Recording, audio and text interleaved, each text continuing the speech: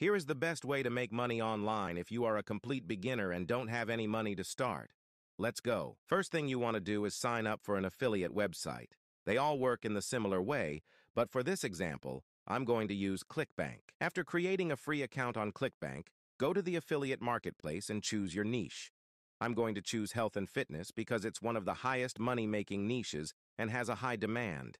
In return, customers get what they want. Sort this by gravity from high to low. You will be able to see the top-selling offers. I will choose Sugar Defender New Blood Sugar Support as a product to promote by clicking Promote and save my link somewhere safe where I will use it later. Make sure the average conversion for your product is $100 and above. The next step we need to do is to create a proper sales funnel. I'm going to use a software called Systeme.io, and don't worry, everything you need is in the free plan.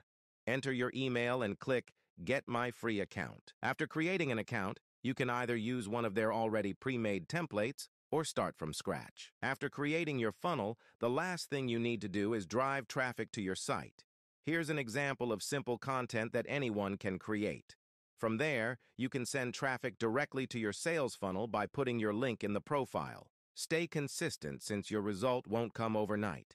Make sure to follow this channel to learn about different ways to make money. Leave a comment below if you would like to know more about this method.